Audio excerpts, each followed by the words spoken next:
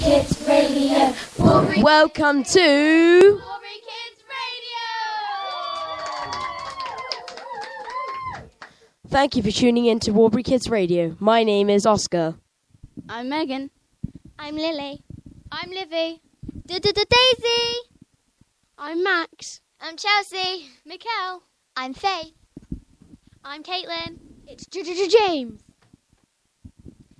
This broadcast is brought to you by Ocean Youth Radio Here and Now project, collecting stories across Torbay. Coming up on Warberry Kids Radio, we have brilliant radi- radio dramas linked to Torquay and our school values. We have interviews with members of our school community. And for friendship, we have um, friendships forming. For courage, we have people in the jungle. We have people stuck on beaches of Dunkirk, and we have our very own Just So. This morning we made fun dramas focusing on our um, Christian values hope, friendship, courage, and creativity. Creativity links to Rudyard Kipling, who lived in Torquay and wrote the Just So stories. Hope relates to Lady Cable, who Lady Cable is a boat that saved so- soldiers from Dunkirk. Courage was um, Percy Fawcett, who was an explorer who lived in Torquay. Friendship, well, that's stories that we made in our drama scenes. Now we have um, our fun dramas which we made earlier this morning. We we hope you enjoy. Um, we're gonna begin. Let's begin.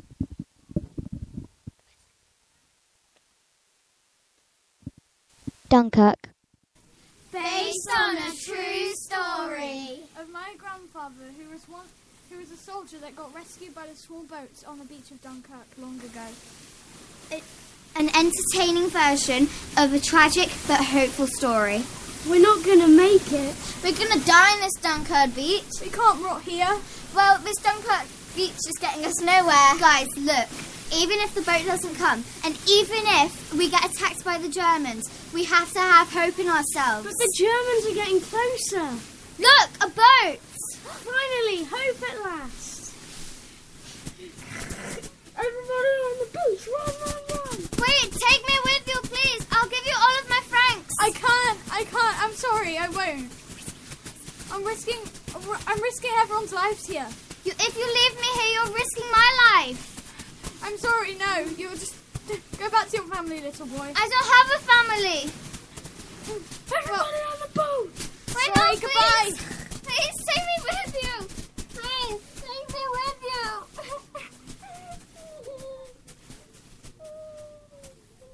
okay, that's the end. Hi, my name is Caitlin. And I'm Megan. Ru- Rudyard Kipling lived in Torquay. He wrote the Jungle Book and the Just So stories. Here's our version of how the octopus got its tentacles. There once lived a sea slug who gave birth to eight crazy kids. She was very upset because her kids never listened and were crazy.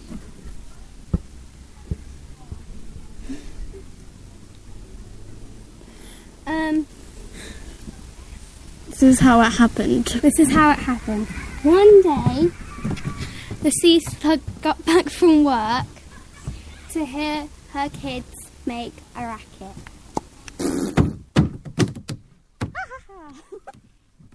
Bubbles, stop climbing on the coral. You know it's dangerous and poisonous. Whatever. Don't break that. That's poisonous. I don't care.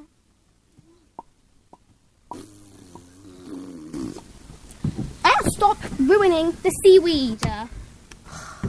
Can buy some more.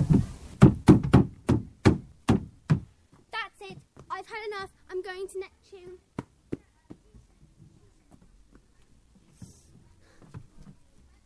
Who dares come forth to Neptune? Neptune, I am in need of your help. My kids, they're going crazy. Mm, I get this a lot. Struggling mother. Um, I think I have a way I can help you. Bing bong bing. What are these? Tentacles. So you can grab onto your children. There's one for each. I got eight tentacles. Yeah. Thank you.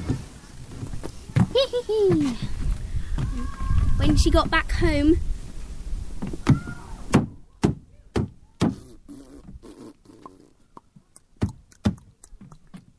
kids, stop now. This will help. I have tentacles now. Come on, I can grab hold of all of you. How'd you escape? Get back here now. You're too slippery. I need to go back to Neptune. He can help me.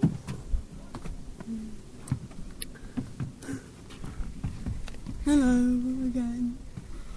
Neptune, I still need your help. These are too slimy. My kids keep escaping. Mm. Well, I might have another way. Whatever. They keep breaking free. That reminds me of a song. You know, like, uh, here you go. Bing bong bing. What are these? Suckers. Hopefully these will work. when she got back home again. Bing bong. Kids, stop it now. Come on. I got, I got you now. Ah, you've got down. You can't break free. And from that day on, the octopus forever had tentacles. The end. There, whenever you're ready.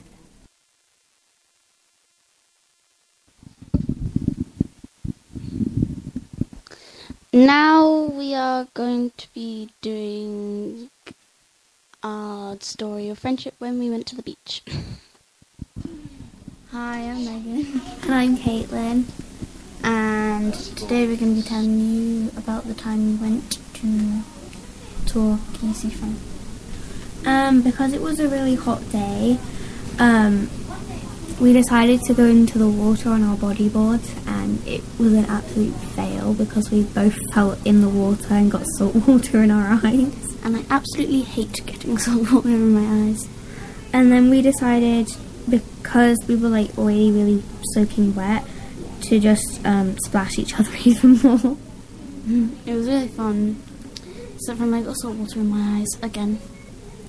And then we decided, um, because we needed to get the salt water out of our eyes, to go onto the sand, which was really, really hot, and make a sandcastle, which was amazing because it was really cool. It was really pretty. We used seashells as like the windows and a toothpick with a piece of seaweed on it as the flag. And we used these like really, really um, gorgeous uh, seashells as like the windows, And and. We had a moat, and we ended up getting a little jellyfish in it because it um, the water like left it in there, and it was really funny. Um, then I went to ask my stepmom if we can have a couple of pounds to get an ice cream. And I and we both had a, the traditional Mr. Whippy with a really like crispy flake and chocolate sauce. It was so nice. I ditched the chocolate sauce and just had a traditional Mr. Whippy. Yeah. so apart, and it was like a really really nice day. Apart from getting salt water in our eyes, Mr. Whippy like all over our faces, and then we just decided it was time to go home. And at the end of it, I got extremely sunburnt. Approximately 200 years ago, a man named Percy Fawcett, born in Torquay, England, was convinced that there was an ancient civilization based in the Amazon rainforest. Destined, he set off on his venture, but unfortunately never came back. Enjoy. Oh, my chest is getting heavy. I think my one's going blunt. All the bugs are getting to me. The heat's making my head sweat. cut. I know. I'm just gonna get some water. Ah! Percy! Percy, talk to me! Oh, what's that? Get down! Hi, my name's James, and this is a story when me and my friend Tom went go karting in Brixham. We had a really great time, but I won as always. I'm gonna win. No, I'm gonna win. No, I win always. So Well, you better get ready because it's gonna start soon. Here it comes. Beep, beep, beep. Boop.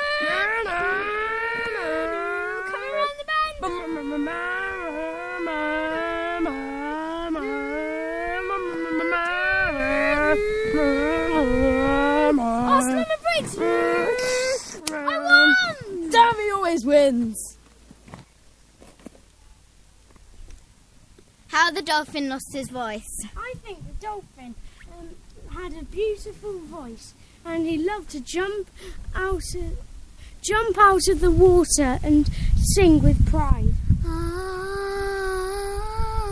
Ah, Yeah, and one day his parents advised him, "Don't go out the water now. You're you're making a racket, waking everyone up. It may be a nice racket, but it still wakes them up." Really? What happened next? The dolphin, the, the seagulls got very jealous of the dolphin's voice and came up with a cunning plan. I'm hatching an evil plan, and by the time we have finished, boys, we shall be the best singers in the world. Example.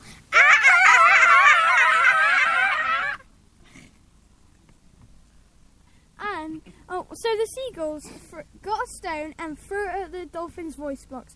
So it went like this.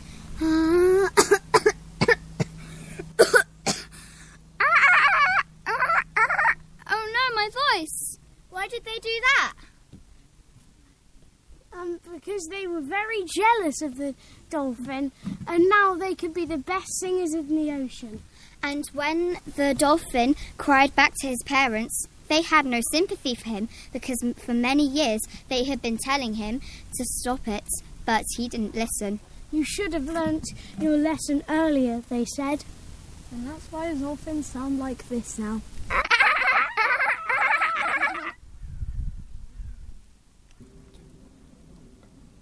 The author Rudyard Kipling, who wrote Jungle Book and the Just So stories, lived in Torquay. This is our very own Just So story about how the seahorse got its distinctive features. Once there was a young seahorse and his mother.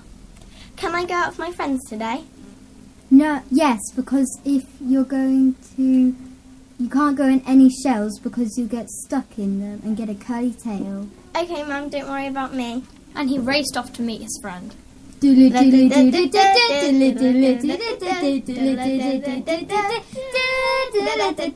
Once at the coral, his friend said, I dare you to go into that shell. No, because my mum said I'm not allowed. Jellyfish, jellyfish, chicken. Fine, I'll go in. But once inside, he realised he couldn't get back out. Help! Help! Let me out! Once the jellyfish was, once the seahorse was out, he realised that he had a curly tail. Oh no, what will I do now? My mum's gonna see this. Maybe I can flatten it out. But it didn't work. And he raced home.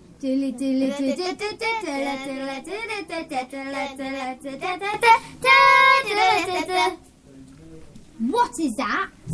Um, my tail. I didn't mean to. It's it doesn't matter. Yes, it does. But as soon as he said that, his nose grew longer. Mm. I I didn't mean to climb in the shower. It, it wasn't my fault. I fell. Mm. And when he said that, his nose grew longer again. Sorry, mum. I was just messing around. And that's the story of how the seahorse got his long nose and curly tail. Fawcett was a Victorian explorer who was born and grew up in Torquay. He was convinced there was a lost city in the Amazon jungle and set off on an expedition to find it. Oh, Percy, we've been doing this for ages and I don't think there is a lost city. I'm starting to doubt it. We can't need to. We can't stop now. This is an adventure. Oh no! It's, starting, to rain. we need oh, to find shelter somewhere quickly. Let's start walking.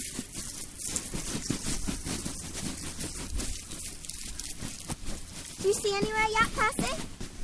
Oh, look! A shelter. We could stay there for the night. Yeah, why don't we sit down? Okay. Oh, what's this? I think I found it.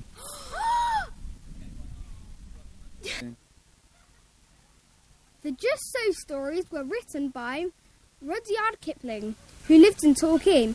This is our Just So story of how the jellyfish lost his skeleton.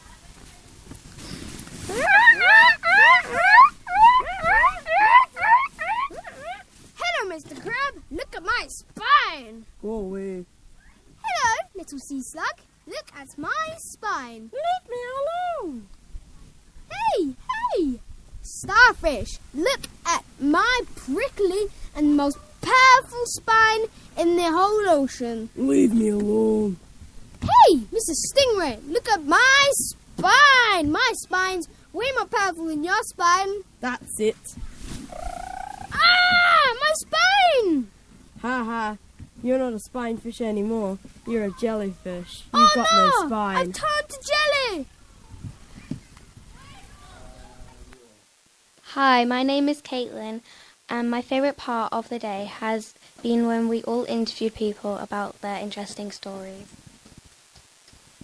Hi, I'm Max, and my favourite part of the day has been making the Dunkirk um, boat boat rescue. We have really enjoyed creating this broadcast, and uh, I hope you have enjoyed tuning in and listening to the Warberry Kids Radio. See ya! Bye. Woo!